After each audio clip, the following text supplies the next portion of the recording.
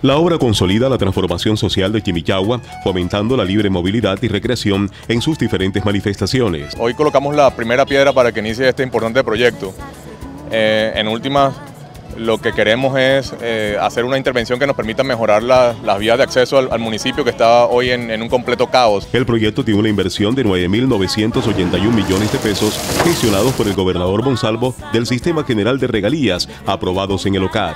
Son cerca de, de 10 mil millones de pesos que, que se convierten en el proyecto más grande de la historia del municipio de Chivichagua eh, que, se haya invertido en, cuanto a movilidad se refiere. La de la entrada a Chimichagua será un conjunto de obras de gran impacto para el desarrollo socioeconómico de la población urbana, de corregimientos, de veredas y visitantes. Lo que vamos a hacer es intervenir los dos, los dos kilómetros que, nos conectan con la, con la vía nacional y vamos a, trabajar eh, ya en, toda la entrada eh, principal del municipio, vamos a hacer toda una, una, inversión en espacios urbanos, buenos andenes, buenos locales comerciales, para transformar todo lo, relacionado a las ventas eh, comerciales que, hay en, en, toda la entrada del municipio. En 2.000 metros de vía se harán obras de estructuras, puentes, calzada en concreto rígido y flexible, señalización, adecuación de parques. Nos estamos eh, dando cuenta de que Chimichagua está a salvo y va a seguir siendo a salvo.